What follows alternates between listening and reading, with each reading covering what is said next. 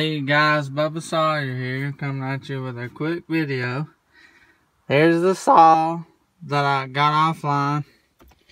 Uh, Charlie Hazlitt, if I think I'm saying his last name right, uh, was taunting me when he posted this on there. And I've been looking for an early yellow Poulan for a long time. And I found this saw. And I got it. First thing I did is I took it, pulled the pull rope and then the pull rope come out and stuck. It wouldn't go back in. So I WD, put WD-40 and stuff on it. Still wouldn't go in. So I had to wind it up. Still wouldn't retract in right.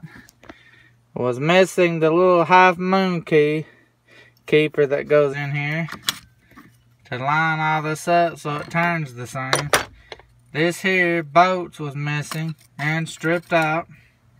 So that's going to have to be replaced and it's got the wrong clutch cover. It's got a later model clutch cover on. And uh, clutch cover isn't on right because that's supposed to be seated down up under that lip. That's not on there right. Uh, about 90 90% of the paint's on the saw. Like I said, going out to replace this. And uh, Probably about it. At the gas tank not faded or anything. Looks pretty good.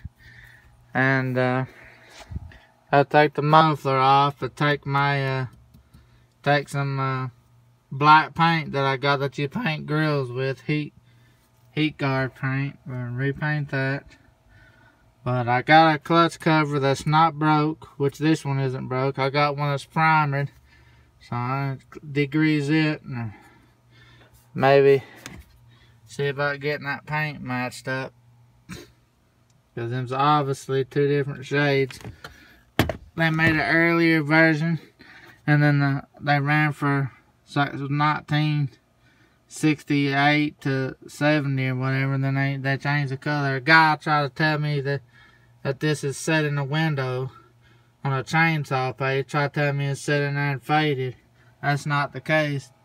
Because in Gunner's book, he talks about it as a yellow chainsaw. Well, there's your yellow. The earlier and the later. I have three or four. I have four to five later green saws as you've seen. But here's my burnt saw. I'm gonna be robbing parts out of it to uh, put in that, get the moon moon key and stuff out of it. So we'll get back at you when we get that stuff taken off. I'm trying to do this a couple hours before I go pick my wife up from work.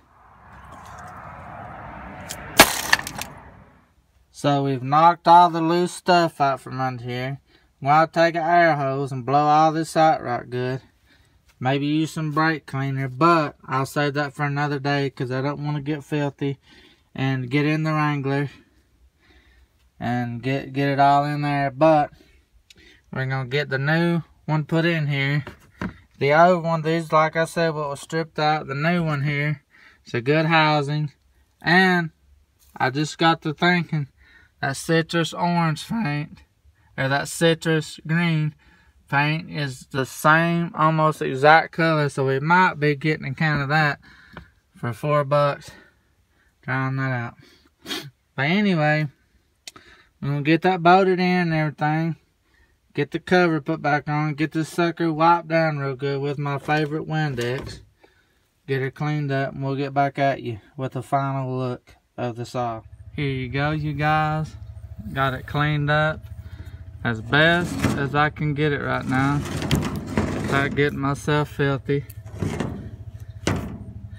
And underneath here is probably where I'll have them test at because it looks like brand new up under there. So, there it is guys. Cleaned up. Vintage. Uh, 68 to 70. 245. We want to get that replaced. So, thanks for watching guys.